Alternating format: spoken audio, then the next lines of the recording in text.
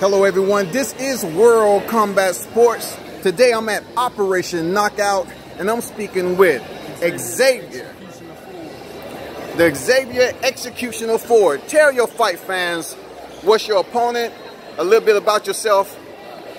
Okay, my opponent is Dijon Cissel. So, about me, I grew up fighting out of boxing, um, out of a boxing gym up in Maryland and stuff. Like, we like to slug, we don't, we don't like we don't duck and dodge nobody. Anybody can get it from our basics and standards. We, we out there. So uh, a little bit about my opponent. He, he gonna come he gonna come hard tonight. And I'm gonna have to just do what I do and stick that jab and move and do what is necessary to down take it home. And Xavier, um, how long you been in the sport of boxing? I've been in for five years. Okay, five years in the sport. So at this point in your career, what is your projection? What are your goals in the next two years to, um, for the sport?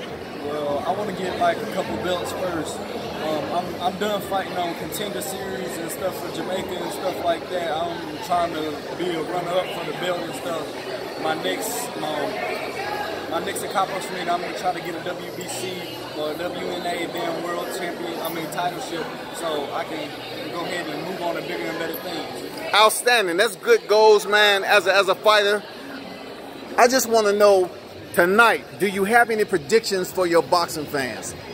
Um, predictions is I'm gonna try to I'm gonna try to take the man out in the third round if he lasts that long. It might be a first round. It, you never know. Okay. You gotta come and see. Wait to the outcome. All right, for sure. Fight fans, you hear right here. Operation Knockout. Xavier the Executioner. Ford. That's what it is.